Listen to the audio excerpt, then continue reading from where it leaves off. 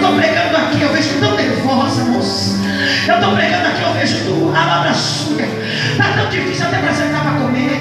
Está tão difícil até para dormir. Está tão difícil até a convivência do dia a dia.